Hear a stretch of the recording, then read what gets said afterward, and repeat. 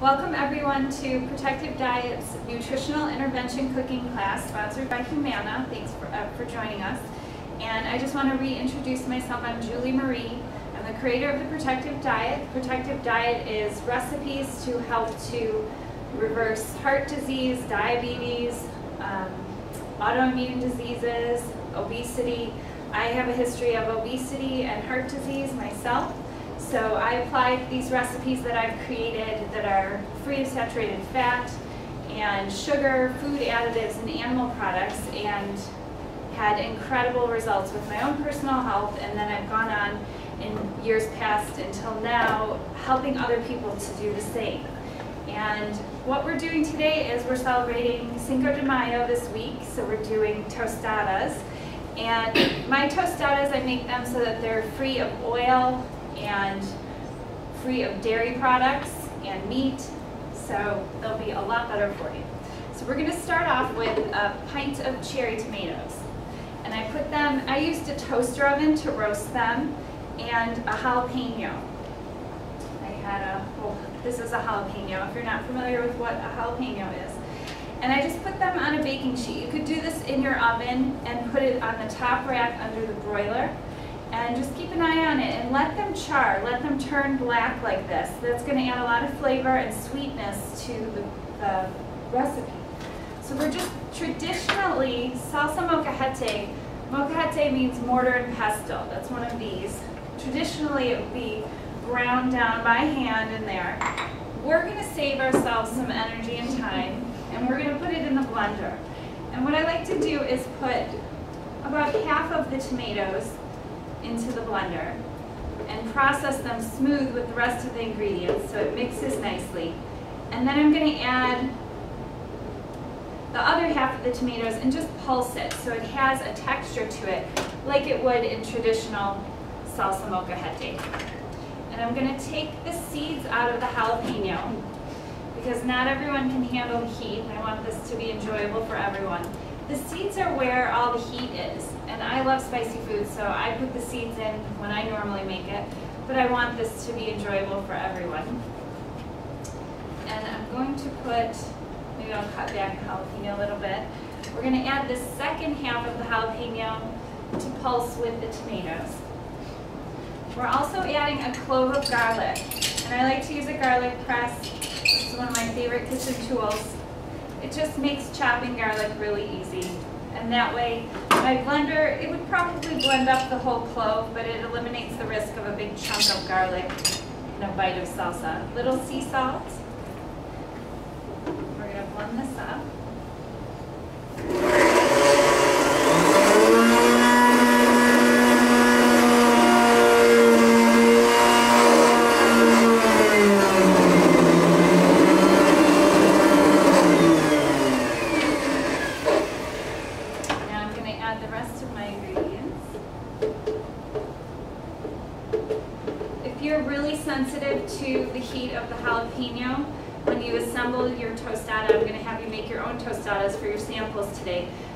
the salsa out of it or put it on the side and give it a taste and see if it's, you know, if it's something you can handle, if it's too spicy for you. This is a pretty mild version of this, but some people find it very spicy. So I'm just going to pulse it so that it has some texture to it. I'll do it one more time.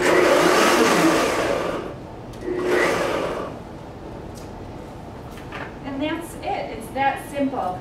And this is a salsa I make on a weekly basis, and I just keep it in my refrigerator to top anything. Just brown rice with a little salsa molcajete on it is delicious. And I'm going to add it to our here.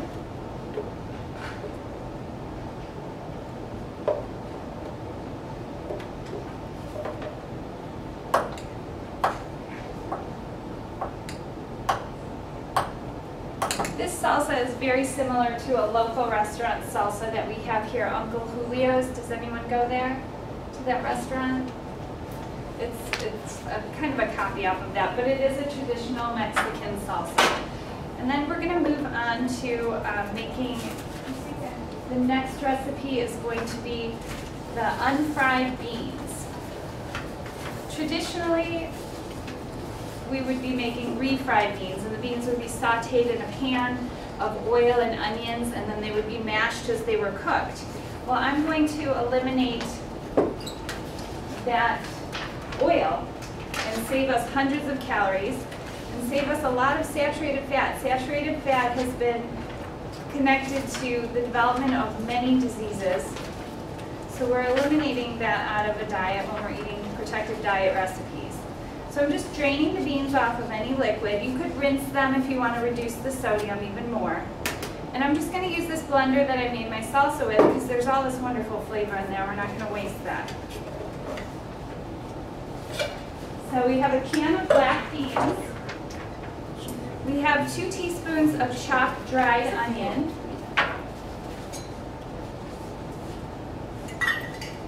We have a quarter cup of water that's going to get everything blending together, get it spinning. We also have a clove of garlic.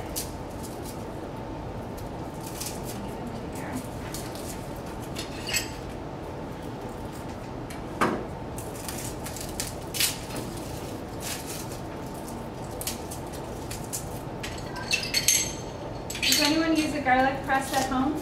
No. A lot of you do. Saves time.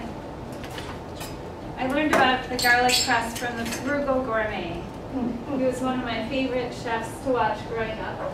And then we put an arbol chili in here. And I'm going to leave the chili out just in case some of you don't like the heat. Or is everyone spicy food fans here? No? Not everyone likes spicy? Okay, I'm going to leave the chili out because we have a little bit of the salsa in there. But normally we put the chili in, like on your recipe. We're going to blend it.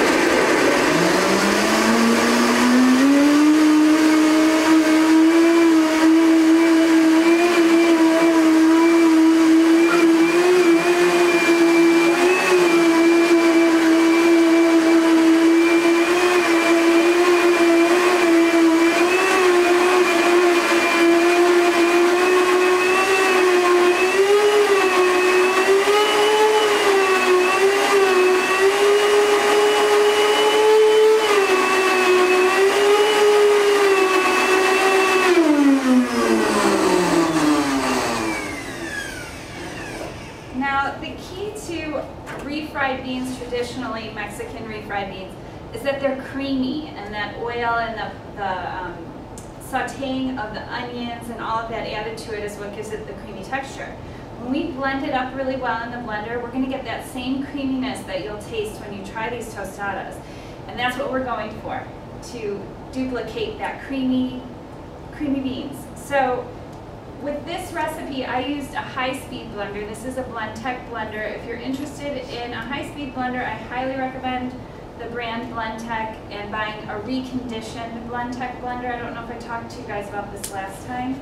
You can save almost $200 on a new one of these buy a reconditioned one because they, um, they're returns. Like people purchase them at Costco and then they return them to the store. They never use them. They had a second thought about it and then this company has to resell them at a discount.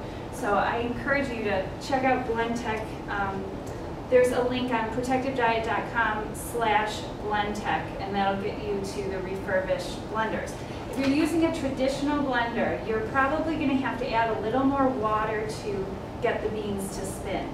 Or you could use the liquid from your can of beans. That liquid that's in this can of beans, as long as you're buying a can of beans that is free of additives and preservatives, look for beans that all they contain are beans and water, and if you if they're not sodium free, sea salt. So you could use that liquid. It actually that liquid retains a lot of the antioxidants from the beans. It leaches out into that liquid, so it, is still good for you if it's not full of sodium. So I'm gonna put these in here.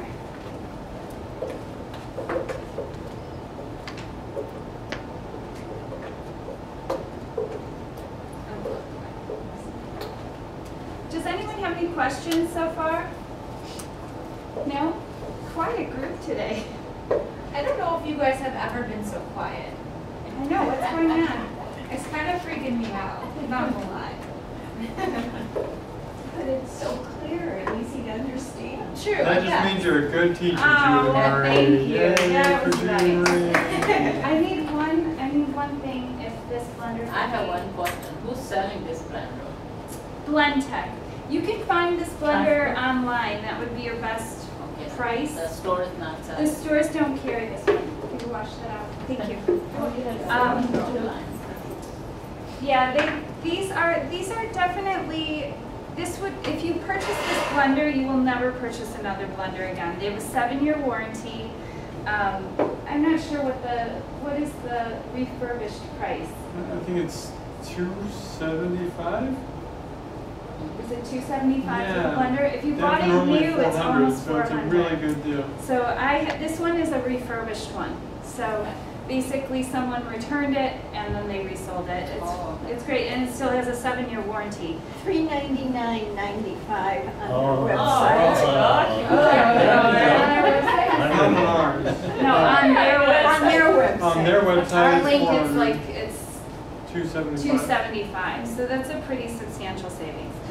So if you're thinking about getting a high-speed blender, I love it because all the recipes that I make, it just makes them so smooth, the salad dressings, it emulsifies. But if you're using a classic blender, you'll just add more liquid. It's like a. Vitamix.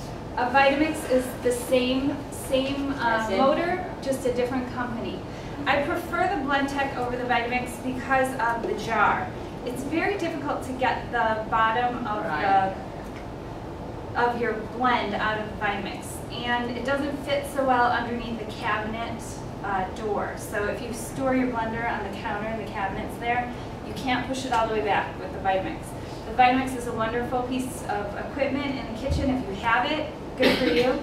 If you're deciding between the two, I would go for the Blendtec just because of being able to get that refurbished price and it fits under the cabinet and the bottom's easier to scrape. And it has buttons instead of all those levers. I've, I've worked with both of them, but this one's my favorite. So the next recipe we're gonna do is the Nacho cheese sauce. So, or actually I'm gonna show you the tostadas themselves. I'm using El Milagro tortillas. These are made from corn and water and lime. Those are the only ingredients. And they're all natural, whole grain product. And these are local to us in Chicago. We're very lucky to have them. If you're not in Chicago, I suggest looking for either a Mexican grocery store or a tortilla company online. And you can buy these preservative-free tortillas. And um, they're very inexpensive, and we can make our own tostadas by taking them and just placing them whole on a baking sheet. Couldn't get any simpler than this recipe. These are like bread in my house. I eat corn tortillas all the time. I don't like to talk about calories because when you're eating this way, when you're eating a protective diet, you really can't overconsume your calories per meal. You could never exceed four to 500 calories a meal without being so full. But these are only 50 calories each and they're loaded with whole grain corn. Gives you lots of energy. So you're just gonna put them on a baking sheet and you bake these 400 degrees for about 12 to 13 minutes. You want to make sure they're very crispy like this. Otherwise, they'll be hard to chew if they're still a little bit soft. So put them back in, keep a close eye on them. Everyone's ovens is a little bit different. I'd say 12 to 14 minutes is generally where it works out. If you want to add salt to these, like traditional tostadas, you'll take some sea salt and sprinkle them on lightly. And then take a little spray bottle with water and just, got this on lock or something, and just mist them. And that's gonna get the salt to melt and stick, and then go ahead and bake them.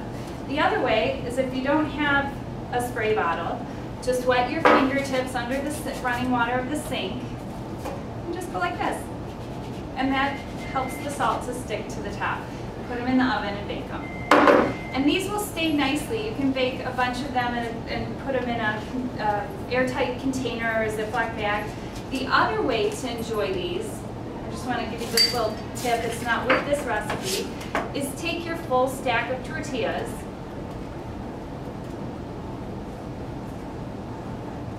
and you're gonna cut them into two cuts, so you get four pie shapes, and bake these on your baking sheet, and there's your tortilla chips. So you can make loaded nachos, I call them, put all the toppings on your nachos.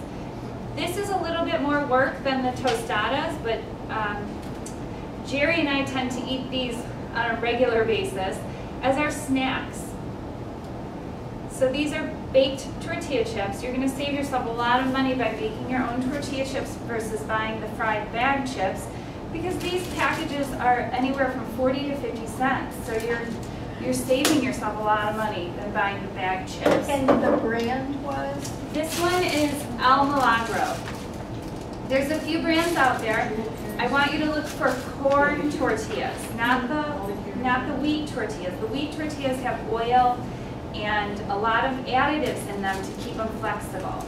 These are wonderful. You could also use these for tacos. You can just warm them in the oven or just warm them on the stove in a pan and fill them with anything. You can make little wraps. So a great, great addition to your diet, nice whole grain addition.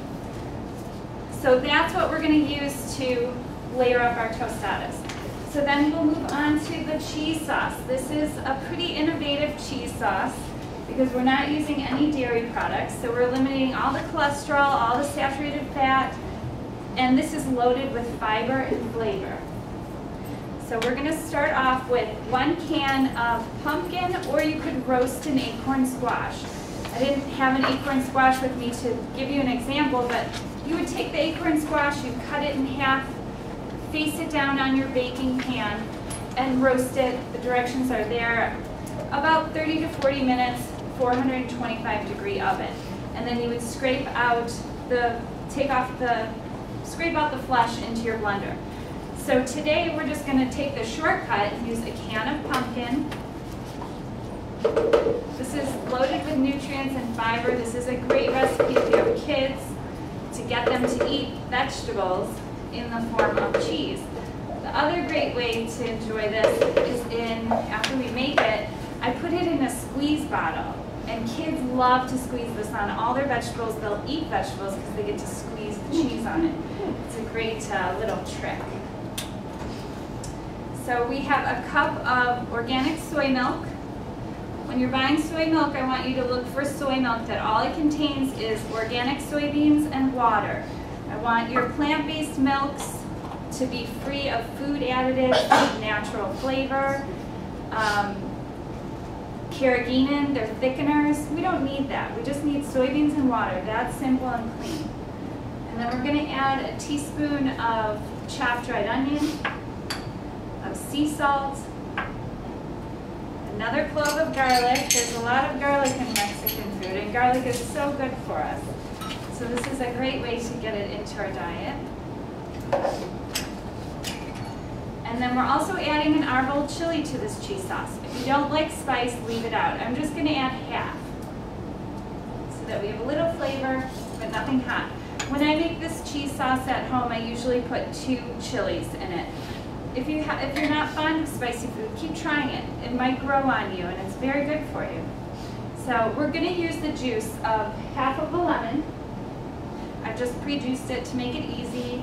You could use one of these little reamers, or you have a flat juicer, or these, these new press ones to make it easier. The lemon's going to give it that tang of cheese. And then a very important ingredient is nutritional yeast. We use this in the soup recipe if you were at the last class. And this gives it the cheesy flavor. This also adds a lot of B vitamins to the dish. And it's a nutritional supplement. If you're looking for this in the, in the grocery store, I want you to go to either Whole Foods or Fruitful Yield, like a health food store, the vitamin shop. They all carry this. You can find it in the bulk bins at Whole Foods, or you can find it in a can like this at your health food store and it's an excellent addition to the diet. I like it sprinkled on popcorn. It's just got like a powdered cheese flavor.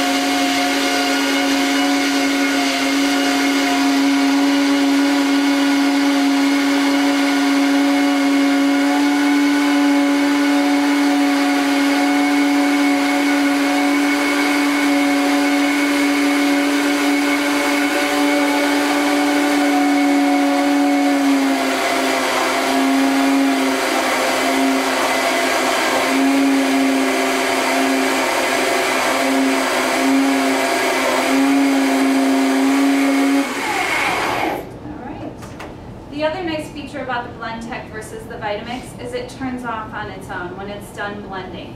It blends through a cycle where I can walk away from my blender in the kitchen. So that's one of the other reasons why I like it. But you can see this, it looks just like cheese sauce, and when you taste it, you let me know what you think. Everyone loves this sauce. It's one of the most popular recipes on protectivediet.com.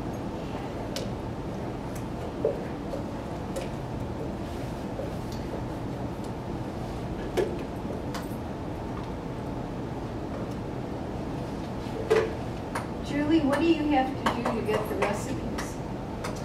Um, these recipes are all available free on protectivediet.com. All you have to do is create a username and uh, password to get onto the site. It helps to reduce spam traffic for us. But we won't send you emails or anything like that with your email address. It's just to get um, access to the recipes. There's some recipes on protectivediet.com that are, they'll say exclusive recipe in the title. Those are paid subscriber recipes. We do have a subscription for um, $19.97 a month, and you get access to all the exclusive recipes. A new recipe is, is uh, provided to you every week, and we do online courses that are an hour on Tuesday nights at 8 p.m. Central Time. So the, these classes, there's an archive of a ton of classes. There's 27 classes um, that started in November, and they show you and guide you how to stock your cabinets, how to eat right, how to make um, just make this lifestyle really easy and doable.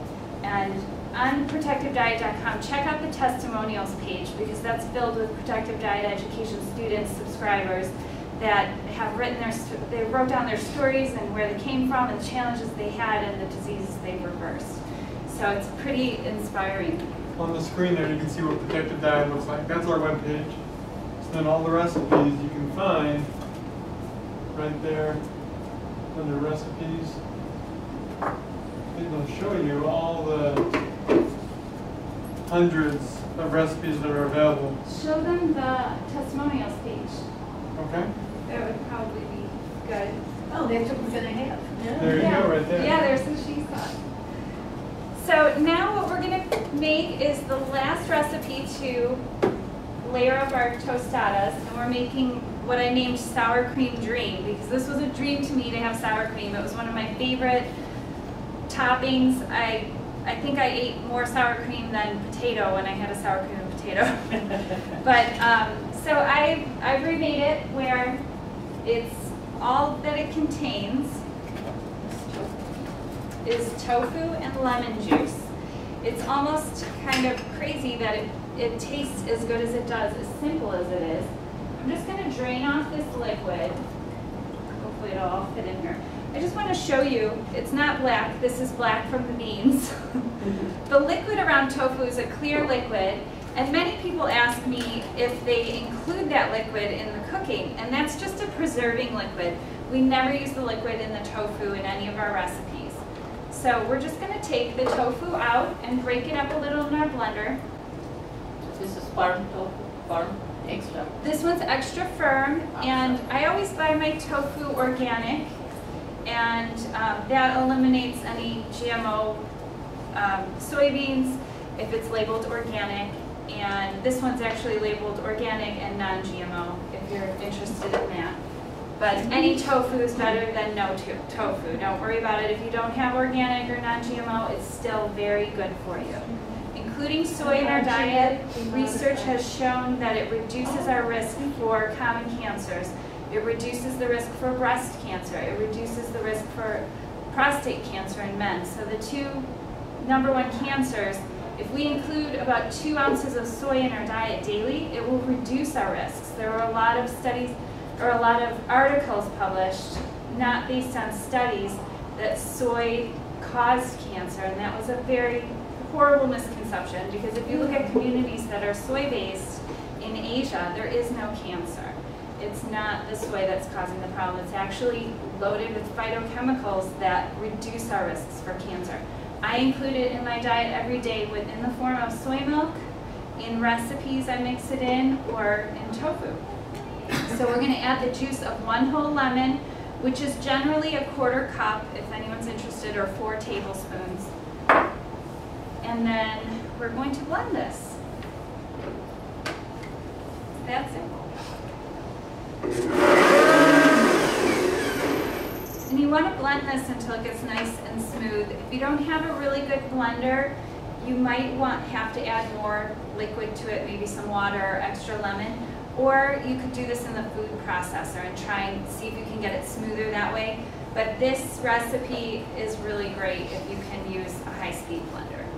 But I'm going to now show you how to assemble a tostada, and then you guys can come up and um, make your own. So I put them in order to make it easy for you. Now you could add more toppings to this. There's a lot of recipes on protectivediet.com for additional toppings. You could also top them with frozen corn that you defrosted. You could add other salsas. There's salsa verde that's made with tomatillos. You could add, um, there's a beefless taco filling that's a great recipe. You could put that on there. But this is typical to use the refried beans and salsa not so typical to use my made up cheese sauce, but you're just gonna layer this up. And put whatever you like and skip whatever you don't like. This is cilantro and onions here. And we have some, some shredded romaine lettuce. And some salsa roja. And some sour cream dream. So if you guys want to come on up and make your tostadas and help yourselves enjoy, and while they're assembling, if anyone has any questions, I'm happy to answer them. Let me get your plate, Jerry. Thank you. Does anyone have any questions about any of the recipes or about the diet?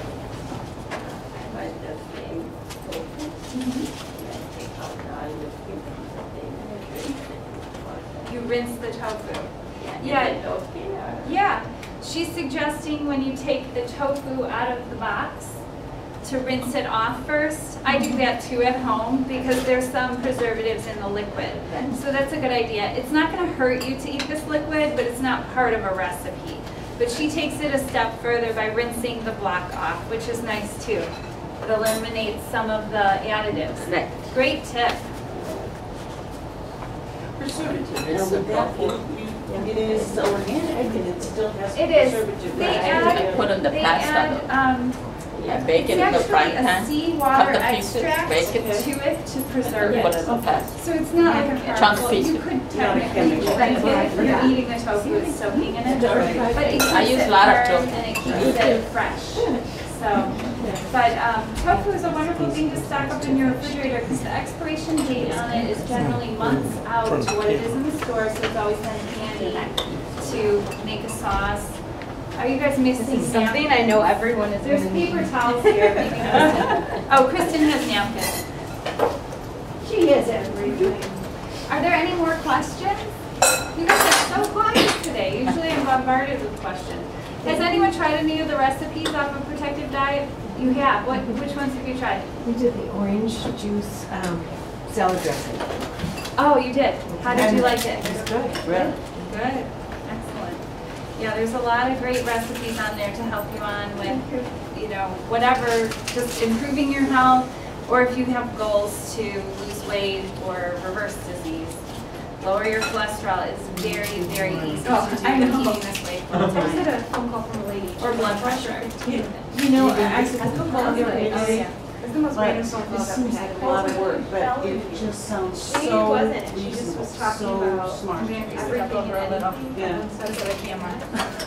Did you ever Um, your strange caller? It seems so reasonable, but it seems like a lot of work. Yes, it does. Yes, it does. first, I would say the first 30 days, it's kind of confusing because it's all new ingredients. Right. But Lot of when you them, stock your kitchen to make the recipes from this website, we're using the same ones over and over again, and you'll see that. I'll use those chopped dried onions a lot, I'll use the yeast, the milk is always the same milk. Yeah. And those are all shelf stable. The tofu, I, it's in a couple recipes, some of the creamier recipes.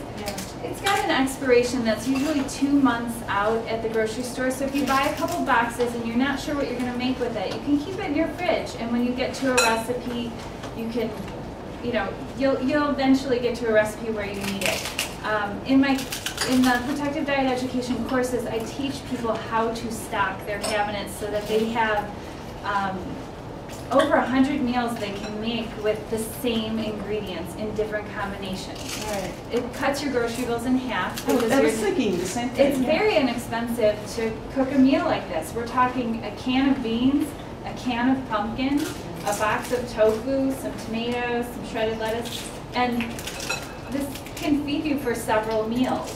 Where um, if you're buying packaged cheese, that probably just the cheese in this meal would cost half the cost of the entire meal. I was meal. thinking when I was, because I, I, I love cheese.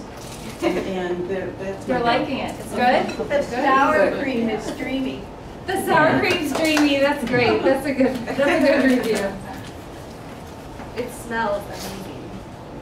Did Julie, we yours please- I am. I'm in napkins. line.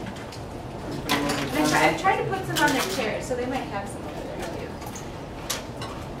If anyone needs another napkin. So the sour cream's a big hit, I'm gonna fill that up again. Yeah, I, it's, it's surprising to find something with two simple ingredients taste so, so delicious. And, you know, it's very inexpensive.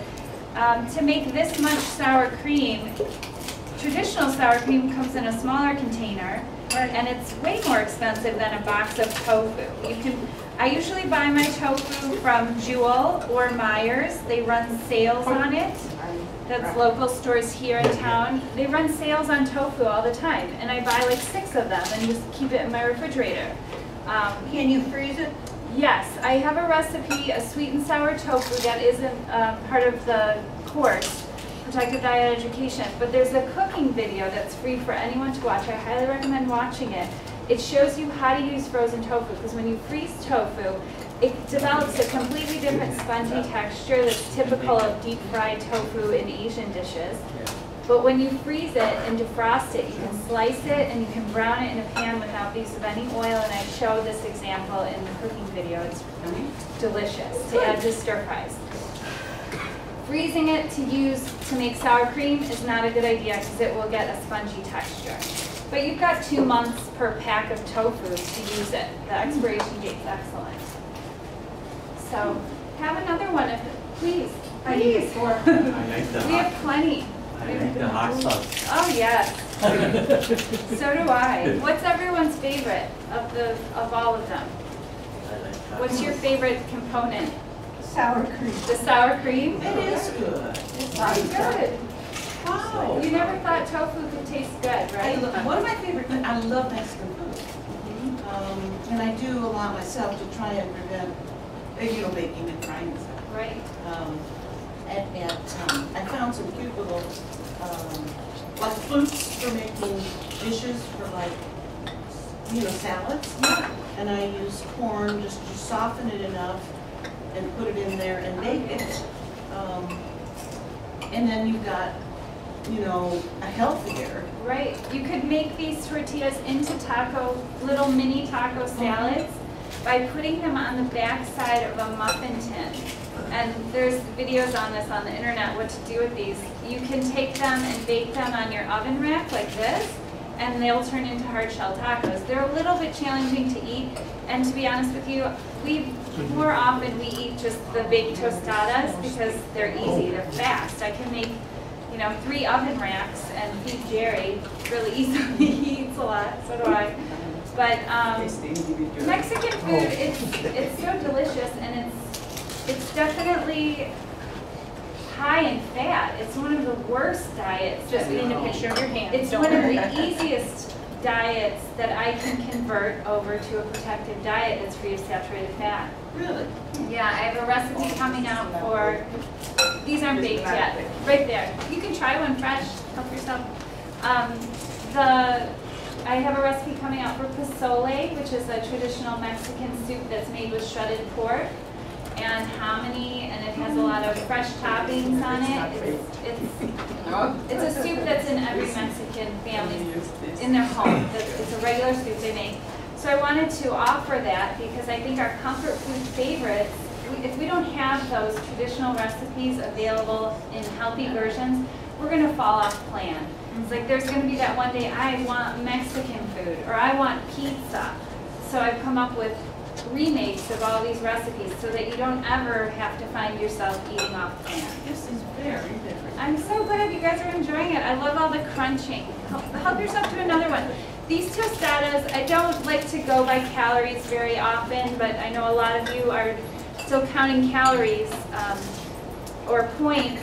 These tostadas are about 100 calories, if that, per tostada with all the toppings. Loaded? Load, loaded. Each tostada is, this is 50 calories.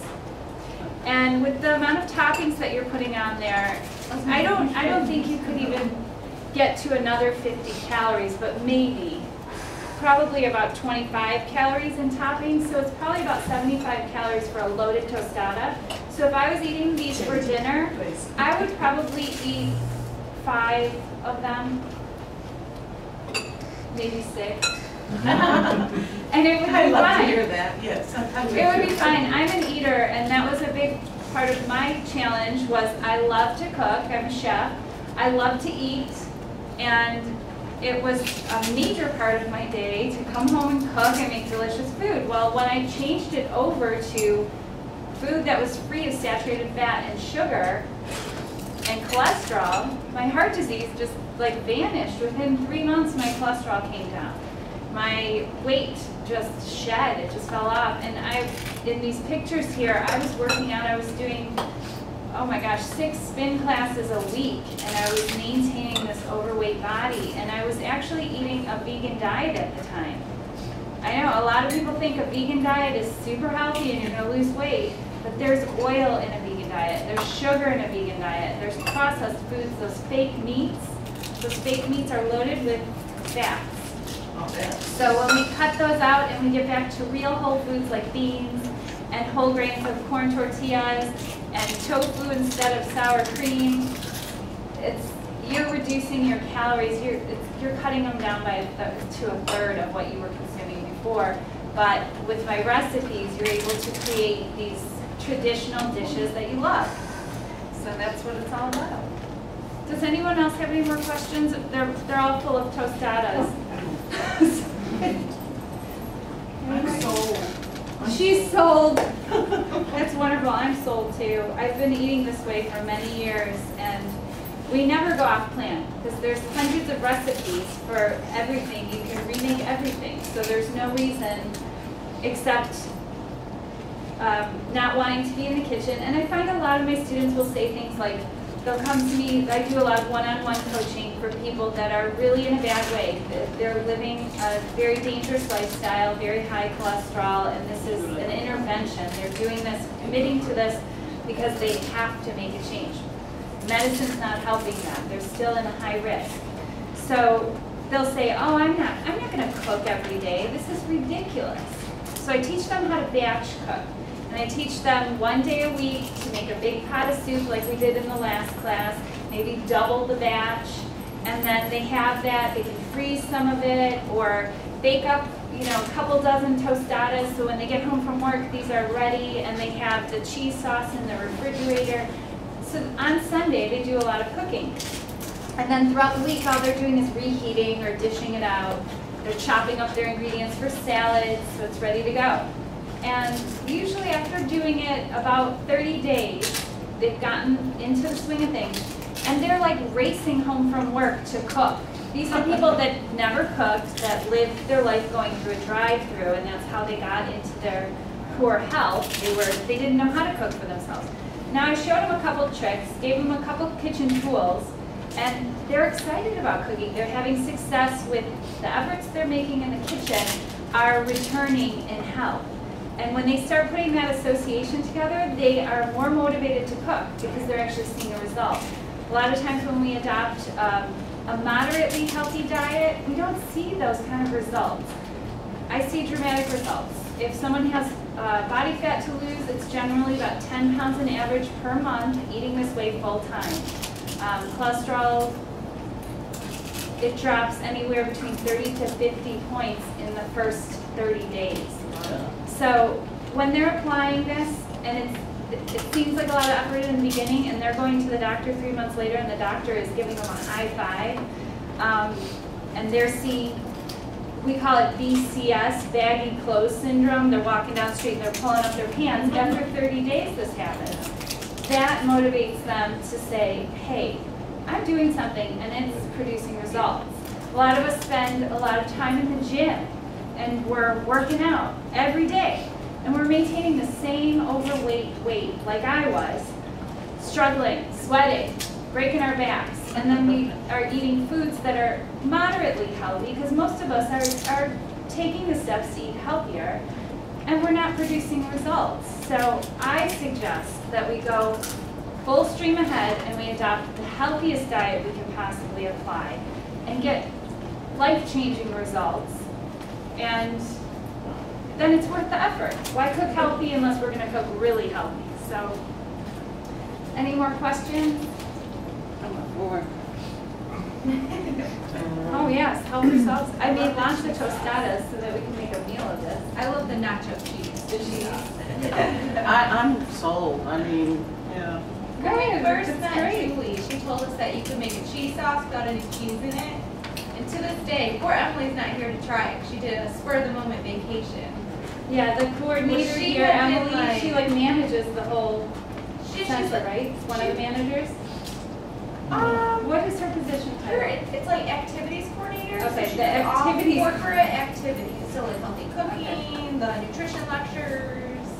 Yeah, when Emily and I first met, Charity she was very excited about the cheese sauce and she wanted, to- she couldn't wait to see the cheese sauce. So I made tostadas today for Emily mm-hmm. and Emily's on vacation. Oh. So when she comes back, you guys have to tell her how good the cheese sauce Yeah, is. tell her, oh, the cheese sauce was so good, you missed out. And she'll be like, why did I go on vacation? That's amazing. I mean, it's just amazing. It's really amazing. good. Okay, I got my cheese problem solved. Cheese problem solved, sour cream problem solved. You saved some money too by eating, eating these versions of it. And, um, yeah, it's, it's like I work with students from all different cultures. And as I have one-on-one students that I can learn from, I actually sometimes walk away from a coaching session. They think that they, like, they changed their life. They lost weight, they reversed their heart disease or diabetes and they're thanking me and I'm like, but I walked away and I learned how to make traditional Mexican food or traditional Indian food or whatever, wherever the person's from. Um, I'm working on, uh, what are they called? I can't say it in Polish. The cabbage, uh, Well, the cabbage rolls. cabbage Oh, rolls. Wonky. Blumky. So I'm working on that recipe. Well, Oh my gosh. Funky. It's it's cabbage rolls and it's traditionally filled with rice and meat. Well, I'm changing the meat out for mushrooms and I'm keeping keeping the seasonings the same. They're delicious. Try it with apples and raisins. Is that a traditional Polish recipe? I don't know, Oh, but sounds I good. make it with, if I don't want to add any meat. Right, you put that in And I don't want a lot of rice, so I cut the rice down and add the fruit. All right. We are big, a big part of eating a protective diet is eating a lot of starches, a lot of whole grain starches like the tortillas or rice. If we're going to eat rice, we want to use whole grain rice like brown rice. It could be whole grain basmati rice, it could be whole grain short grain brown rice or long grain brown rice. As long as it has that fibrous jacket on it, the brown rice, it will, it's not going to cause the raises in your sugar. So if you can get accustomed to the whole grain rice, same with whole grain pasta. I want you to switch from using the white pasta, use the whole grain pasta. You're gonna feel fuller faster, and you're, you can have a quarter pound to half a pound of pasta at every meal, as long as you're not topping it with fat sauces. So use, I have a recipe for tomato cream sauce, that's one of the free recipes. Fat-free Fredo, it's a beautiful Alfredo sauce that's made with this nutritional yeast. And soy milk, and we thicken it with cornstarch. It's, and it's full of garlic, it's delicious. Uh, my students call it restaurant quality. They're blown away by these recipes, but it just takes some innovation and some creativity. And I've done that for you to make this plan easy and for you to experience results with your health. That's most important. And enjoy your food. We should all be able to eat well and um, not feel like we're eating sprouts and beans. I mean, that's, there's no fun in that. Food is, food should be enjoyable. It should be fun and pleasing and satisfying. Any sustainable plan has to include good food because if we don't have it, we're going to order pizza or we're going to go through the drive-through or we're going to go to a family get-together or a party and eat cake if we don't have an alternative version of it. All right, well, we're going to wrap up the cameras. I think we're good to go. Thanks for joining us from home, and take care. Best of health to you. Thank you, you guys.